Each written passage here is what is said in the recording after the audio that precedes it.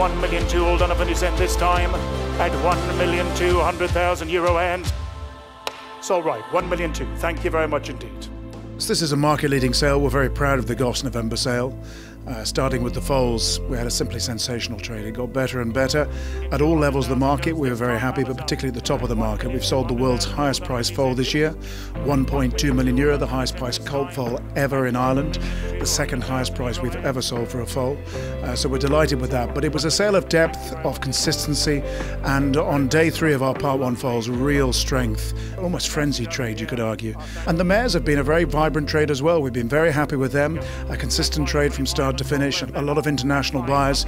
So we've really been the centre of the bloodstock world this week, and we're very happy. We're also particularly grateful to every vendor. It doesn't matter whether they've bought us one foal or a whole draft of mares. We've always said we can't do without the horses. We have been very well supported by Irish breeders, a smattering of English breeders have sent us some very good foals as well. And so the mare and foal trade, we'd have to be very pleased, very encouraging.